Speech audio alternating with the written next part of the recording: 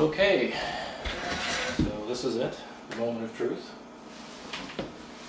Filming for posterity here. So, um, today is April 12, 2004, and we're going to see how far we get with the first bring up. So this is the first time that uh, the machine has been run with all the parts in place. And we're going to run a, we're going to try to run a Fibonacci function to compute the Fibonacci function of 10, which should be uh, 55 decimal and 37 hex. So let me grab a pencil here.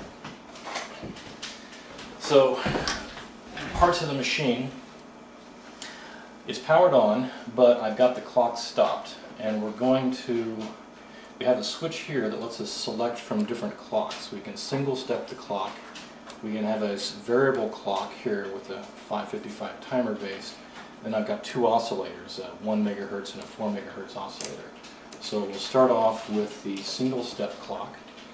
This display here is a register display. So when the clock is stopped, you can turn this switch and look at different register values. So right now they've got garbage because we just haven't started yet.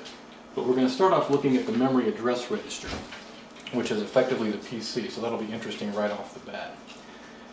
Uh, this display here is going to show the contents of the address of the instruction register. So as we fetch instructions, they should show up here. The display along the top is here is going to show us the address of the next micro instruction that we're going to execute, uh, which should be interesting. And so the way the Fibonacci function works, I've got a listing here. We're going to start off by setting up the stack pointer. So we'll first uh, load an immediate hex 7000 into A, copy that into the stack pointer, call main. And uh, at the main, we're going to set up a stack frame, uh, load 10 into uh, register A, uh, save it in the stack as a parameter, and then uh, call the Fibonacci function, which will recursively, I hope, compute Fibonacci. So, let's give it a shot. So, I'm going to turn from stop to run, and we'll see a light here. The clock light will show the, the state of the clock. And I'm going to have to toggle a few times to get it to start up. So let's toggle. Okay, now we've got a high clock, low clock, and now we should start seeing instructions. Excellent. So the first opcode is a 7C, which we've latched it in, and that goes to microcode address 7C. So let's take a few more steps. Oh, and excellent, our, our memory address register incremented. And um, let me go ahead and step again.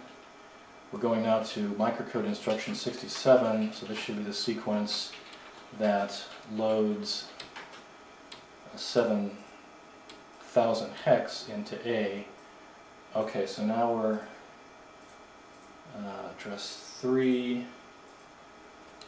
Okay, excellent. So what we've got now is the next instruction is CB, which is supposed to copy A into the stack pointer. But let's go ahead and stop the clock and take a look at the A register. So if we're really lucky, right now if I switch this we should see 7,000, but we don't. Darn. Okay, so something didn't work there. Alright, well let's go ahead and continue anyway. Uh, let me go ahead and turn it back to the memory address register. So we're at 4, CB, I should have copied it, and now we're at uh, instruction 80, which is a call instruction. So here's we're going to try to call the main program. So this will be the first branch we've attempted. Uh, so we'll see if a branch works. So we'll do this when branches take a ways to go and address register.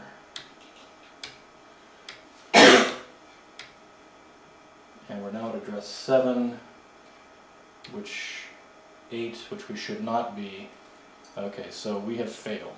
Uh, we did not take the branch, And if I just turn this on to variable clock here, we've, we've missed taking the branch, and so we've fallen into a halt.